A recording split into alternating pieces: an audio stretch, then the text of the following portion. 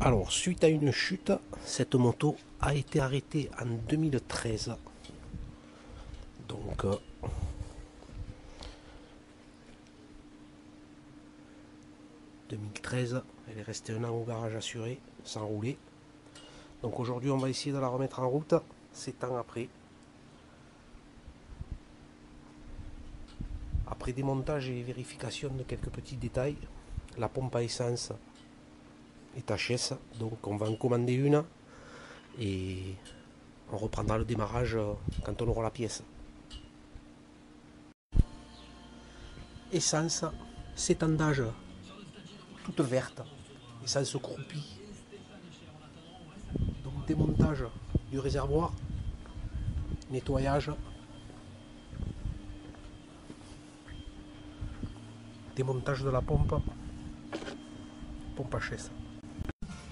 Ça y est, la pompe à essence est arrivée. Alors je vous cache pas que j'avais déjà ouvert le carton. hein. Ça c'est la neuve. Ça c'est la vieille. On va la monter et on va voir si ça démarre. Ça y est, la pompe est remontée. Retour dans le réservoir.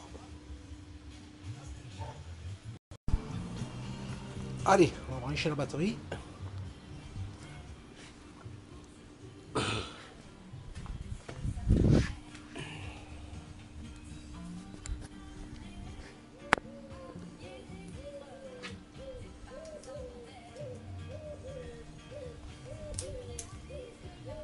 Hop.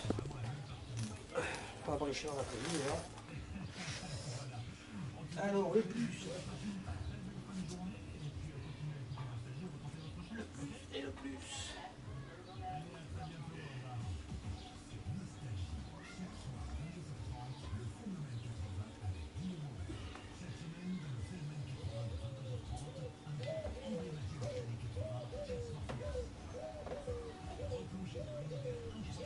J'espère qu'elle aura assez avec cette batterie.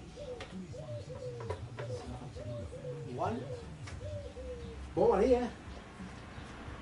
On va essayer, hein. Tac, tac, on va starter. Déjà, la pompe part.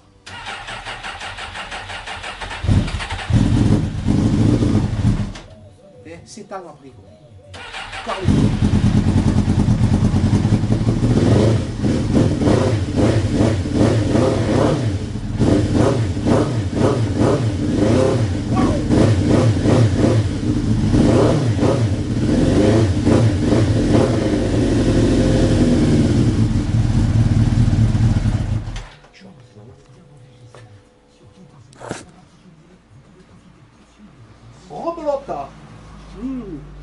ça sent le vieux, hein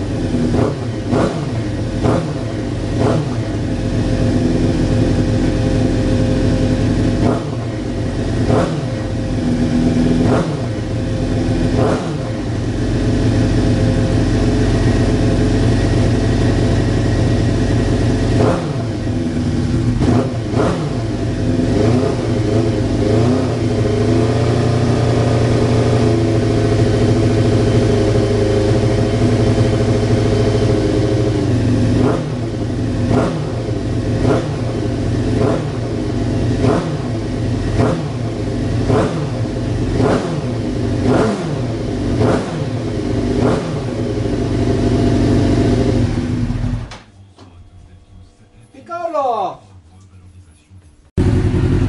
Voilà, c'est temps, c'est qu'elle n'avait pas tourné. On ralentit.